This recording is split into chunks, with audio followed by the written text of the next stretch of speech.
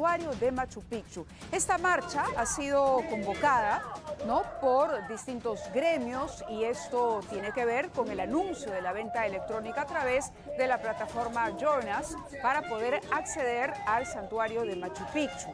La entrada, la ministra de Cultura ha defendido esta decisión porque considera que es una manera más ordenada, moderna y transparente de tener acceso y de comprar las entradas, que según el propio ministerio ha señalado, pues antes había una suerte de, mafias, de vendedores que obligaban a los turistas a permanecer durante algún tiempo en Aguascalientes o Machu Picchu para poder ingresar, elevando los costos de su estadía en la ciudad del Cusco.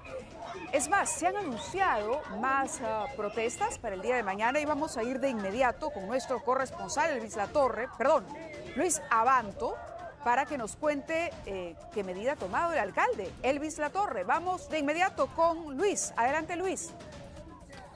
Ávila, ¿cómo estás? Buenas noches. Buenas noches. Efectivamente, en Cusco se está teniendo una situación bastante difícil nuevamente con el tema de Machu Picchu, las, las entradas el sistema de ventas Joinas que entró en vigencia desde el último sábado 20, el cual ha presentado ciertas fallas en su venta. Ha habido protestas por parte de eh, la gente de operadores de turismo, como también los propios pasajeros que han intentado comprar y han tenido largas horas de espera. El día de hoy se ha realizado esta marcha por parte de gremios, grupos organizados, sociedad civil y también algunos gremios de construcción civil, CGTP y otras.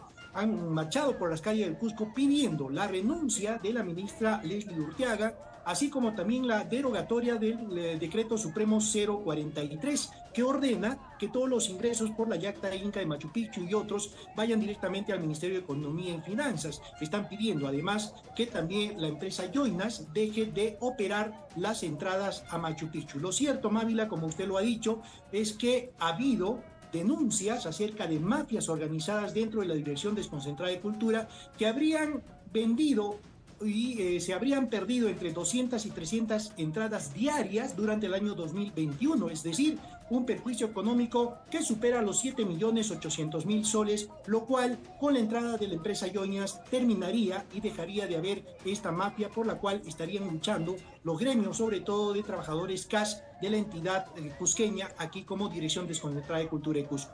Lo que se ha manifestado Mávila es que para el día de mañana si es que no es escuchada esta protesta inicial en la ciudad del Cusco, se va a iniciar un paro eh, de 48 horas, lo cual han denominado un paro seco, es decir, ningún movimiento turístico económico en Machu Picchu pueblo, lo cual truncaría así las visitas de los pasajeros ya programado para mañana y pasado mañana, un paro seco de 48 horas. Lo propio también aquí en Cusco, estos gremios han manifestado que se haría un paro indefinido de no ser escuchados en los pedidos principales que ellos están solicitando a través de esta primera marcha realizada el día de hoy en Cusco. De acuerdo, Luis. La verdad te agradecemos la información. Una pena lo que está ocurriendo en el Cusco porque el Cusco vive del turismo y ese paro seco que han